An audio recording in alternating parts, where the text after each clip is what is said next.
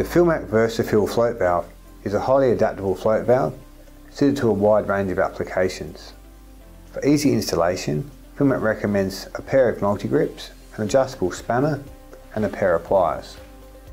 The VersaPHIL long parallel thread float valve comes with either a dedicated body or a 3 quarter inch adapter, both with long parallel or fastening threads, making it perfect for poly and thin wall troughs and tanks.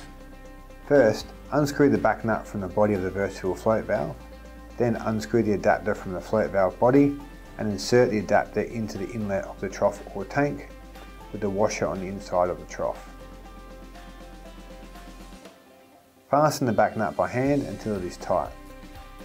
Using your multi-grips, nip up the back nut. You may need to hold the adapter in place with your hand or a spanner. With parallel threads, thread tape is not required.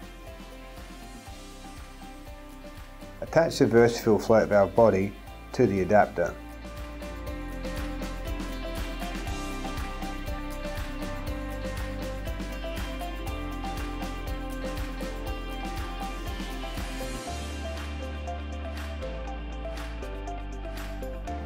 Once hand tight and in the vertical position, screw on the float. Philmac recommend the use of a 6 inch cold water float for optimal performance, but smaller floats and arm combinations can be used for tight cavities. In this case, we are using the 5.5 inch round float with a short arm to fit the tight trough cavity. Once tight, secure the float by fastening the back nut with your multi-grips or spanner. Once you are connected to the water supply, fill the trough or tank.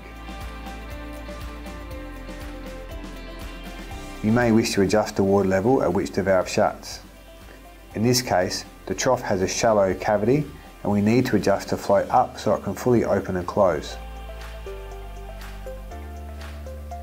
To adjust the float valve lever arm, use pliers to remove the R-clip on the pivot pin and then slide the pivot pin out.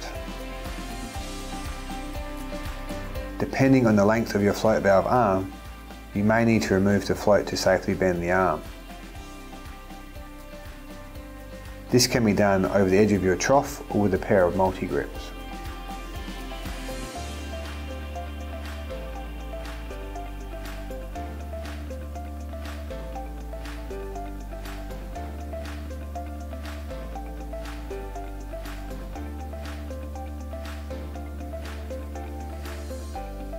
Reattach the float valve arm by reinserting the pivot pin and re-engaging the R-clip.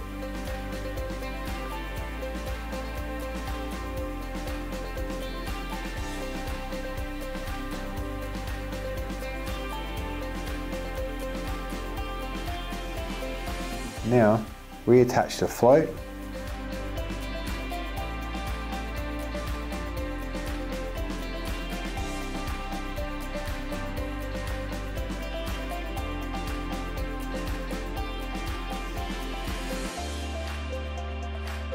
and fasten the back nut to secure.